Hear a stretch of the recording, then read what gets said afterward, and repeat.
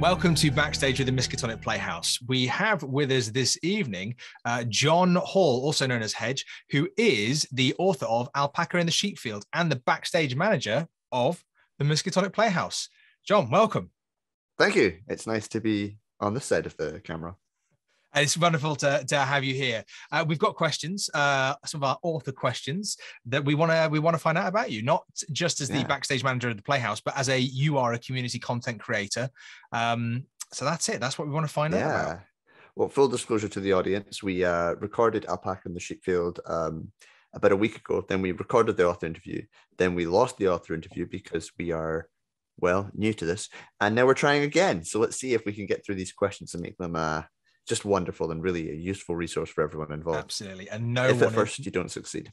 No one is to blame for losing that interview in any way, shape, or form. No, I didn't blame anyone. I said we. Good, good. That's and that's that's let's go. On to the first question. On to the first question. Um, so what are you most proud of with your scenario? Um I think the bit of the scenario that I'm most proud of, uh, well, first of all, actually, let's go really simple, is that I finished it. Um, from my perspective, uh, I was presently a D&D author when I started uh, and entered the world of Call of Cthulhu, looking for a new platform, new way of writing, running new different scenarios. And as a lot of people who get into um, Call of Cthulhu from Dungeons and Dragons do, I thought I had to do everything homebrew. So I began just trying to create things all over the place. But eventually I discovered the joy of writing short, compact scenarios. And one of the ways I did it was through our sponsor this week, actually, which is through the Storytelling Collective. So the Storytelling Collective runs this write a scenario in a month thing, and I signed up for it, really unsure of what I was going to do, but I thought this would be a really good way to go through the whole process of writing a scenario, and I did. So Alpaca in the Sheepfield was written in June 2021 as part of the Storytelling Collective.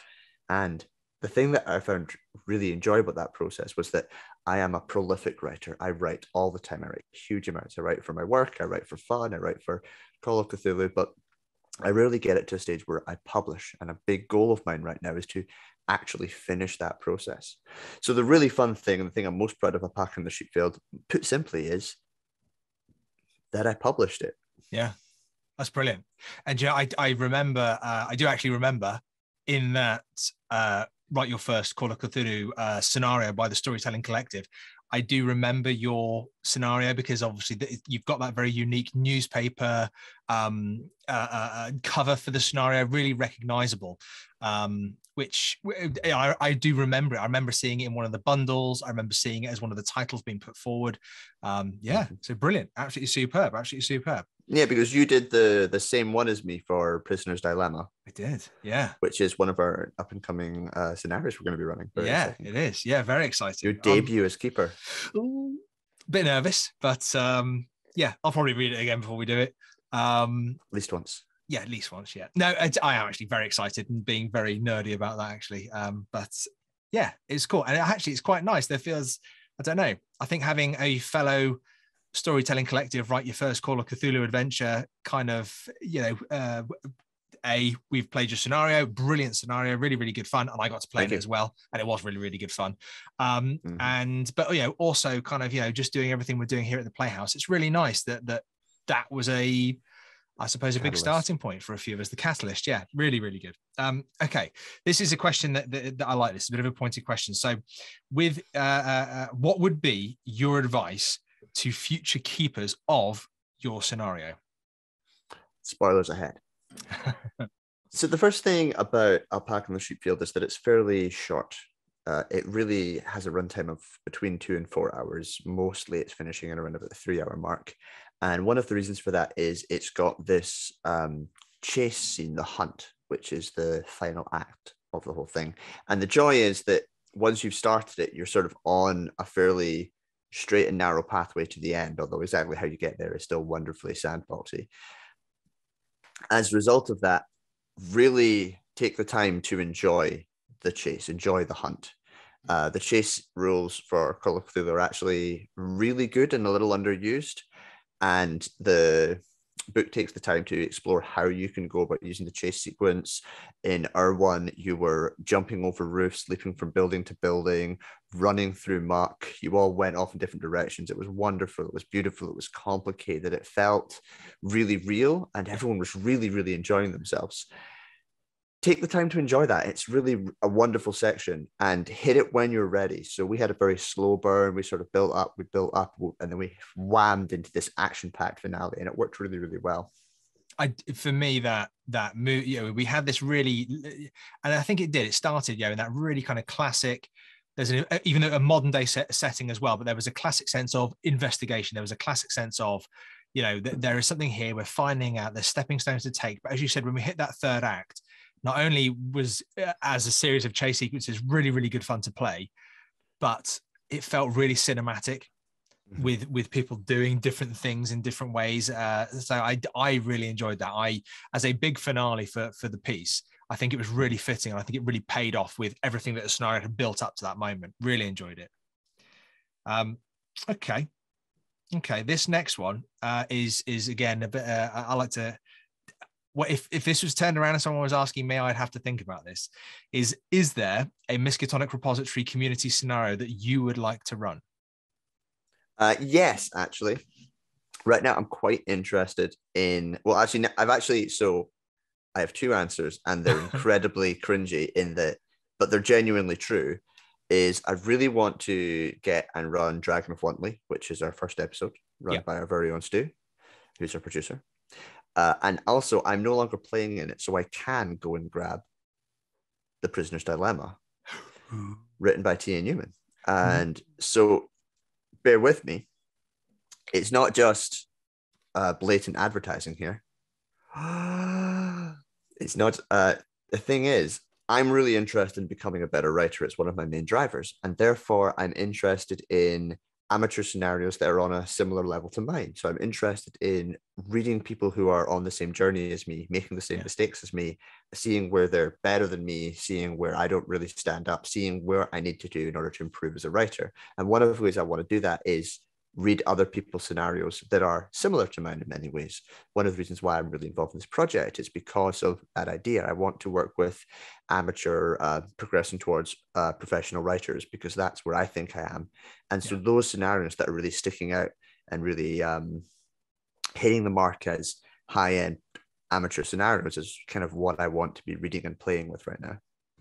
Yeah, do you know what? It, it's I think that's a really, really, uh, yeah, considered answer. Considered way to think about what we do actually with with the community content. Uh, and I don't mean us. I mean everybody that writes and contributes to what we call the community content. That idea of you know we, there is a huge opportunity here that when we play each other's material and we look at each other's material to learn tricks of the trade, uh, different author style types, how you do things, how you kind of, you know, like you said in your yours, there's a you know you look at the chase rules which a lot of people I have to say and even in home games that i've played i've had people go right hang on a sec i've just got to check the chase rules. It's it's a really good way to to expand your our repertoire or and individually as your repertoire as an author isn't it? Yeah absolutely. Yeah cool brilliant really really good. Um okay um what would you like to explore? And this might be loaded because there is something that's been released very recently but what would you like to explore in your next scenario uh, in my next scenario, well, I just published a new scenario actually. I think it's a good opportunity yeah. to talk about that. A really good opportunity. I just published uh, my latest scenario. It's called Secrets of the Glen. Secrets of the Glen is a seven to 10 hour long, confusing, complicated little mystery that takes place in the northwest of Scotland in a little glen you've never heard of. And it was my first big idea when I got given the idea of writing investigative mysteries. And uh, I'm really, really proud of it actually and how it's turned out. I put a lot of work into it. I got a lot of help. I got a professional edit, edit from my friend Rubina Henze. Some of the maps were done by my friend Graham Patrick. So some people really helped me make it something really wonderful and very proud of.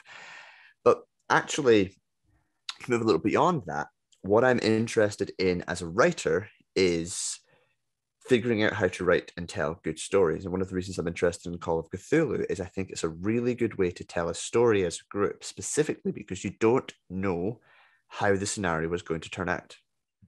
So for me, a lot of the fantasy role playing games, the general assumption is that you will succeed. So if you run the scenario, your characters are going to win. In Call of Cthulhu, you don't know.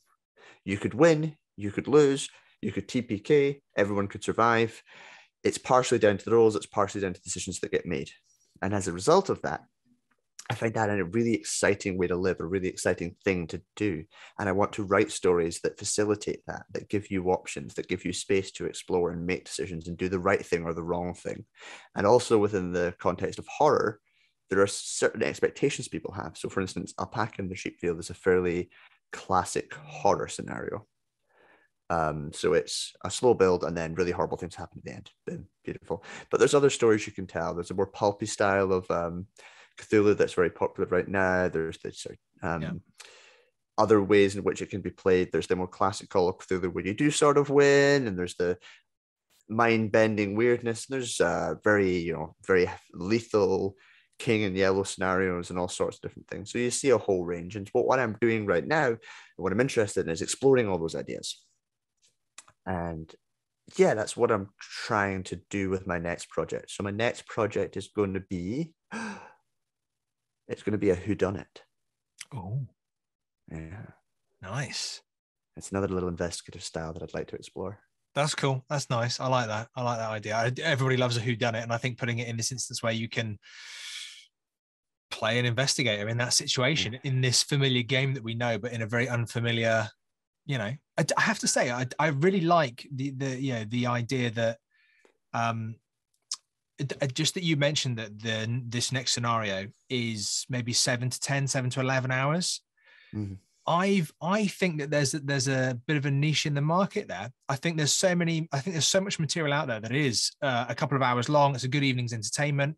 But i think in the community we have got such good writers that having something that is a couple of sessions with your you know with your table with your home table or whoever it is that you're playing with I think I think there's an opportunity there. I think to yeah, and you're obviously jumping on it, which is fantastic. Having that market, which is a look, there's a scenario here, but because it's a more drawn out one, it's a more considered one. There's more to investigate. There's more to invest in. Um, yeah, I'm I'd be really excited about that and seeing more of that in the community as well. So yeah, brilliant, really cool, really really cool. Um, oh, I do like this one uh, because this is something I I wonder when I see material coming out. I often wonder about this where do you get your inspiration from? So I read a lot and I play a lot. Um, but really, what ins- I get inspiration from all over the place. Uh, there's the, one of the one of the issues with this answer is everywhere. uh, so, um, alpaca in the sheep field is written about um, a small island called Dalbray, which isn't a real place. Uh, there is an island of Cumbrae just off the west coast of Scotland, which is a bit larger, and the town's a bit bigger than the story of Dalbray. But uh, if you read it and you know about um, Cumbrae and Millport, the town, then you'll sort of get where I'm coming from. And I was inspired by going there. It's one of the ways in which I'm really inspired is places. So Secrets of the Glen is inspired by uh, Glen Tay, where I spent quite a lot of time growing up as a kid and Glentoran, where I've visited quite a lot as an adult, and I really love it up there. And then I just sort of mishmash the two of them together into this beautiful old story. And so I'm inspired by that which is around me. So the other big thing that is around me a lot is fairy tales. So Scottish fairy tales in particular. So I write what I know. So I'm Scottish. I live in Edinburgh, and I write stories about Scotland. And then I, this is something that I find uh, very personal. That I often find a little confusing with others. Is that I really can't imagine writing anything other than modern. And actually, I struggle to write outside of Scotland because that's what I think about, and that's where I'm living, and that's where my lived experiences, and that's where things I can reference are. Yeah. But beyond that, I'm also interested in different telling different styles of stories. So obviously, we were just talking about the fact that I'm tried to write a very classic horror story in Alpaca, and the whodunit story, and then um, Secrets is a, a mystery. Uh, my other scenario, politics as usual, is a haunted house.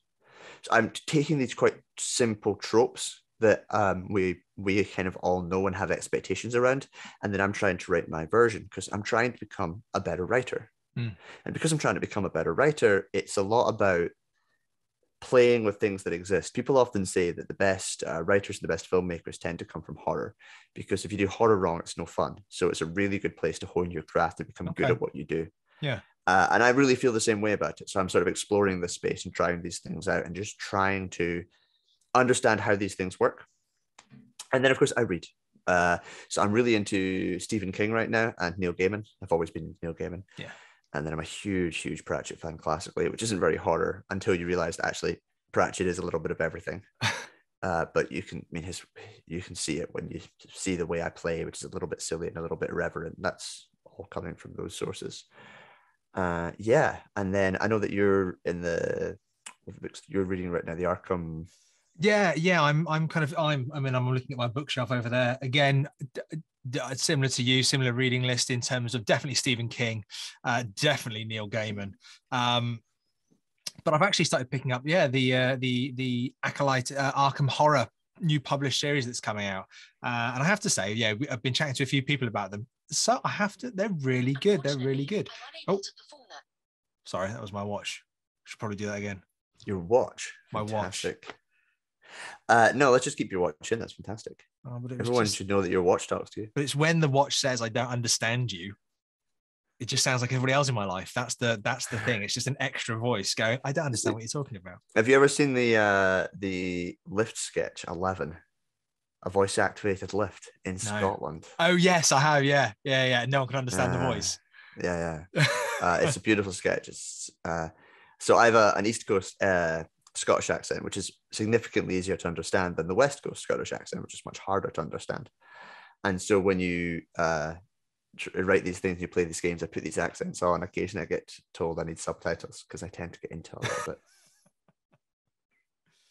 um, I think we're just going to carry We- on. Should we just carry on? We were talking about books. Uh, I basically I was going to say that you've been so positive about them that I'm genuinely going to pick them up and have a wee chat. Check.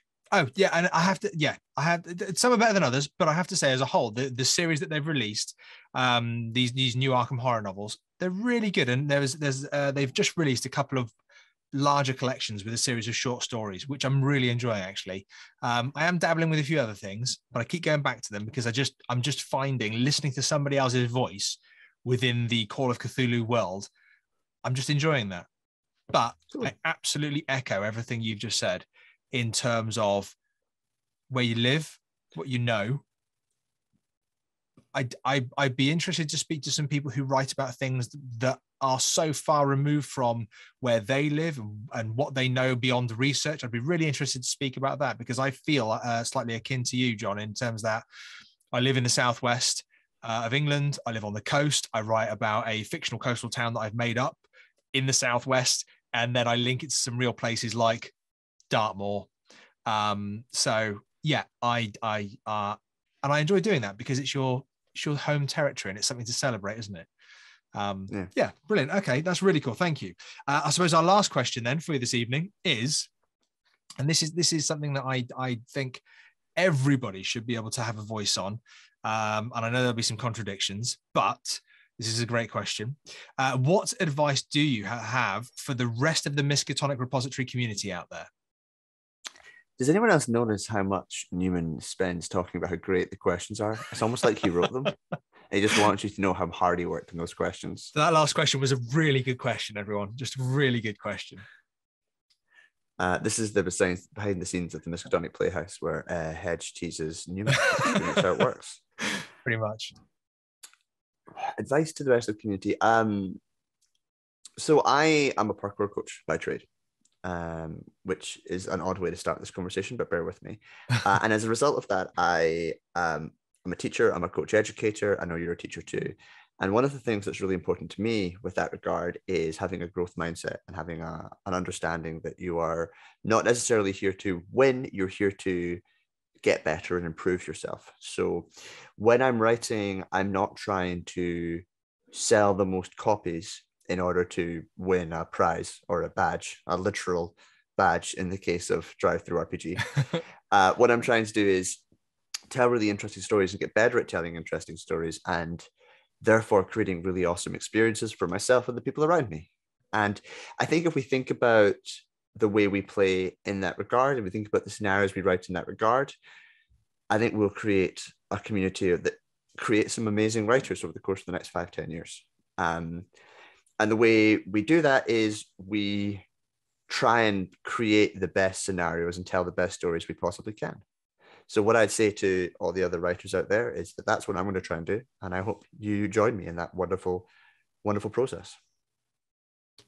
Oh, a lovely sentiment, and by the process of us wanting to be a community of better writers, those little uh, uh, carrots on sticks that DriveThruRPG have for us, uh, they they're going to be a byproduct of better writing, aren't they? Because people are going to want to play those scenarios more because they will begin to sell themselves. You know, that's that's yeah. that's kind of the idea. And that's not to, and that's um, I kind of want to put a little addendum on that on that very idea.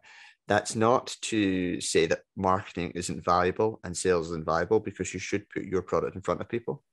So, like one interpretation of that could be me rubbishing scenarios that sell well. I'm not actually. In order to be a good scenario, one metric has to be it is sold and people buy it, people play it, and people review yeah. it. Um, so to get that actually happening is part of the puzzle. It's not the only part of the puzzle because the second part of the puzzle is also that it is a good scenario and therefore you build a reputation as a really good writer. Um, but yes, part of it is that sales process and that does need to happen. But don't make that your outcome, make that the byproduct. Exactly. Yeah, yeah. And actually, with our sponsor this evening, the Storytelling Collective do actually run a marketing program. Uh, which I'm going to have a dabble at myself at some point because I'm just really interested to kind of see it. And I know there's a few other people within the community that have had a go with it and they've got nothing but positive things to say about it. So it's another tool to the skill set. Um, yeah, brilliant. Well, uh, John, thank you so much for joining us tonight uh, backstage at the Miskatonic Playhouse. And we thank you very much, not only for your scenario, for running it for us as keeper. It was, bloody good fun, really, really good fun. Uh, I would absolutely recommend it out there, community. It is a really nice kind of tight, what uh, you know, kind of uh, uh, a one-shot scenario that you can run, that you can really get your teeth into, and you can absolutely entertain your table. Some fantastic NPCs to to uh, interact with, um, and uh, yeah. Um, on that point, if I could just, uh, it's actually, I think it's a really good scenario for introducing Call of Cthulhu to people because it's quite sandboxing. They can run around and explore, and there's a little mystery, but also it's got fairly set beats. So it's, um, I'm not going to say it's, you know, quite haunting level, but if you do want some to bring a new group into scenario, it is an option and a modern day scenario as well. So if you're looking for that alternative that is modern day, that is a good introduction to what we're doing here, there you go. Alpaca in the sheep field. Brilliant. Brilliant. Well, uh, thank you very much, community, for watching, for listening. Uh, do follow our socials. You can find us on most things at Miskatonic Playhouse. And be well, take care, and we'll see you soon. Goodbye. As we draw the curtain on tonight's performance, we thank you for joining us and look forward to inviting you back to the Miskatonic Playhouse. In the meantime, you can also find us in the links below. And if you'd like to submit your scenario for us to play, email miskatonicplayhouse at gmail.com.